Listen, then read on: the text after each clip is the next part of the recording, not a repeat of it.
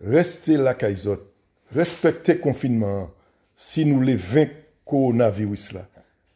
Merci, restez caïsote. En tant que journaliste, je n'ai pas connu pareille horreur en matière de catastrophe sanitaire. Peut-être l'après 2010 et ce tremblement de terre en Haïti avec le choléra. Mais le Covid-19 a fait le tour du globe. Alors pour aider toutes ces blouses blanches qui vont nous sauver, il faut rester chez soi, confiné. Alors je suis chez moi, vous êtes chez vous, restons chez nous. Maman s'il vous plaît, restez la caisotte. Restez la caisotte.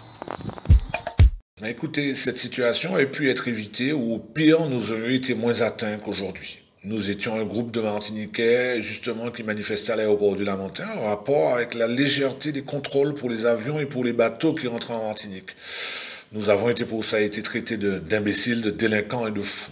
La pandémie, nous la vivons aujourd'hui, chez nous, sans test ni masque, ce qui est très grave. Accroché aux infos, à attendre un mot du préfet, un mot de l'ARS, un mot du président. Je n'ai pas d'autre choix que de vivre confiné.